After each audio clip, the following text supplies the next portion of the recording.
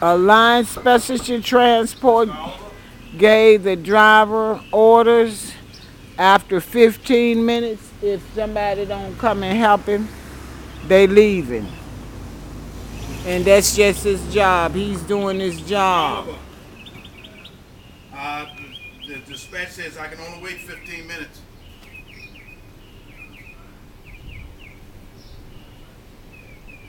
Well, maybe I can give you a hand if you open the door. That's right. That's what I was trying to do. He's he was getting dressed.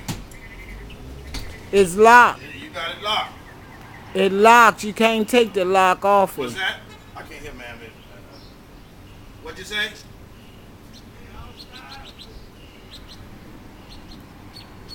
You need to call the front desk or something. They're not gonna give me a key. He can open it. What's that? All you gotta do is dial zero. Don't you have a phone in there? You don't have a phone in the room? He can get to the thing. I'm Sorry, telling ma'am, you. I can't hear both of y'all. All right. What'd you say?